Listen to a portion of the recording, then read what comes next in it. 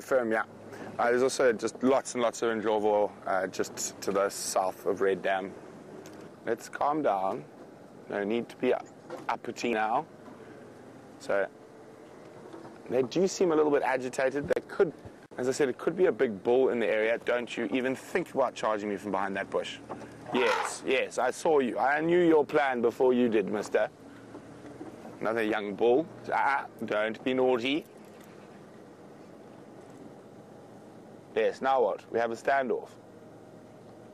So elephants quite often when you get into these situations are used to doing the biggest thing and everything runs away from them. So all you do is stop. And like this, they feel a bit awkward. Oh, sorry, it's not a young bull, so it's a young, oh, an adult female. It's okay, madam. Here we go. Put your tail down. We're not wanting to cause trouble, but also don't want you to chase me while I'm going through here. There we go. Off she goes.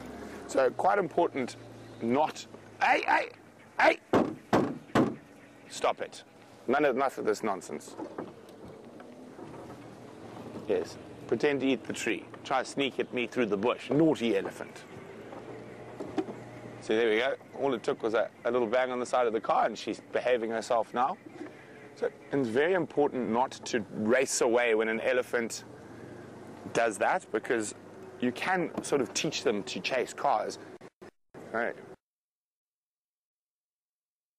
can be quite scary. They are massive animals. And you could just see she was up to mischief. Body language and that, and the way she moved around, she tried to sort of sneak, sneak a charge through the bush at us.